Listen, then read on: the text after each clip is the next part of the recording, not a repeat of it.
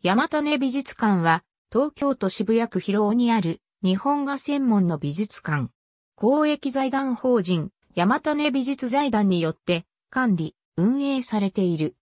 1966年7月、証券会社山種証券と同社創業者の山崎主任が収集した数百点に及ぶ美術コレクションを転換する国内初の日本画専門常設展示施設として東京都中央区日本橋兜町に開館した。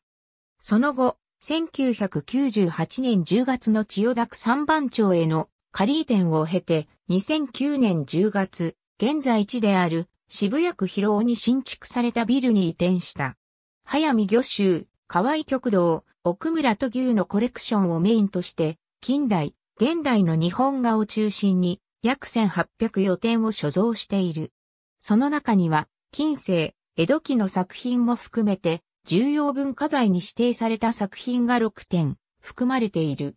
また長期間の展示に弱い日本画を管理し、定期的に企画展を開催している。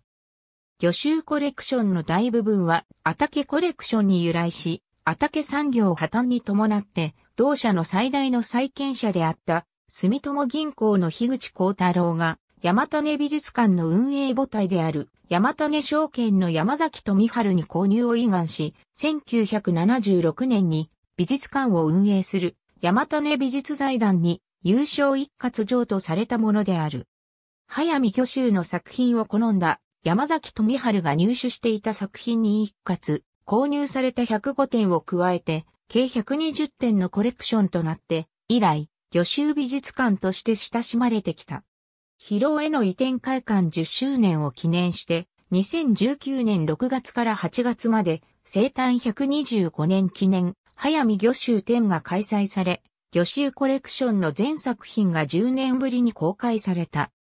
ロゴマークは制作は佐藤拓、日本画と山種の2つの言葉を重ね合わせたものであり、色は東山海位の好んだ群青色を実際に使用された色絵の具から選んだもの、並べられる館は、安田幸彦による記号である。早見魚州、明治三椿図、竹内製法、半妙、早見魚州、炎舞金星絵画近代日本画。ありがとうございます。